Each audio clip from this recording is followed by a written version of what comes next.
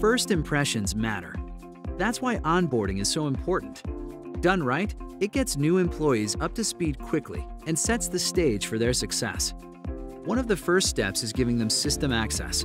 If you use a slow-moving manual process, your HR specialists might have to access SharePoint, open files, log into multiple systems, and enter data across screens. Micro-Focus Robotic Process Automation offers a new way of doing things, liberating your HR specialists through automation. Let's see how it works.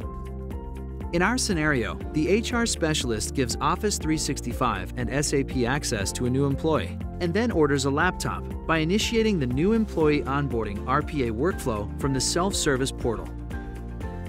Employee setup is complete in less than a minute. What happens behind the scenes?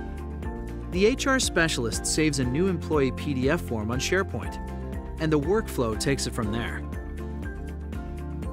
The workflow parses the PDF with OCR technology and passes along employee details, such as first name, last name, hiring date, and hiring manager.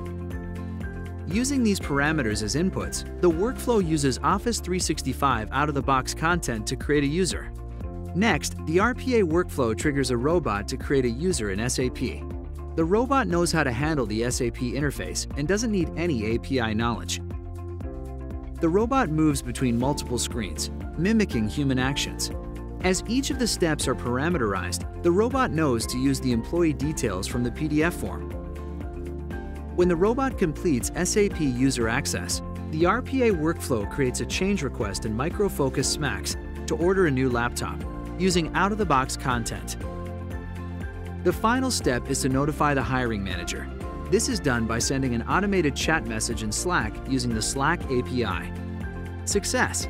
Office 365 and SAP accounts are created. Laptop is ordered. The manager is notified. It all started with one PDF form, and the HR specialist didn't type a single letter. Ignite enterprise productivity with Micro Focus RPA.